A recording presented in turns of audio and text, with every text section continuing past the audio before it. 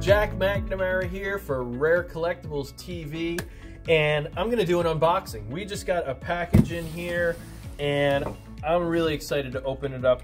We have some military antiques. You know, we've been doing a lot in the category of militaria lately. My friend Peter Karlan is just one of the most, you know, renowned, greatest experts on the area. He'll be in here to explain and research and tell us exactly what this stuff is, but I couldn't wait.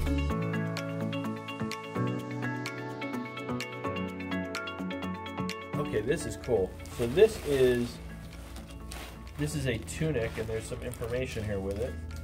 This is a tunic that belonged to Charles Jake Wellman Mitchell Jr., who was a naval aviator 664 and Rear Admiral, United States Naval Reserve.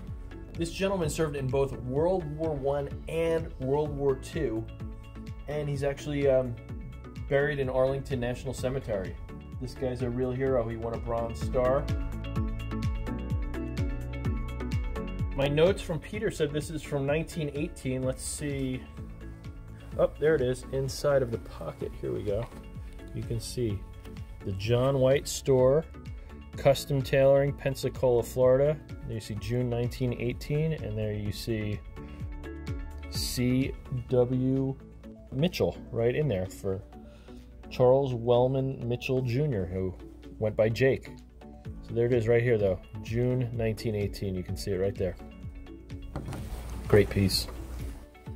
Any military antiques are so much more sought after and so much more valued when you actually have the pedigree and you know whose it was, who wore this, who used this in service. Great piece there. Let's see what else we have in here. A World War One U.S. Engineers painted souvenir helmet. You see 516th Engineers, RT Frederick painted. This was probably not worn in service. This was more of something that would have been a souvenir. So at the end of service, this was maybe given to him as a gift from his unit or something.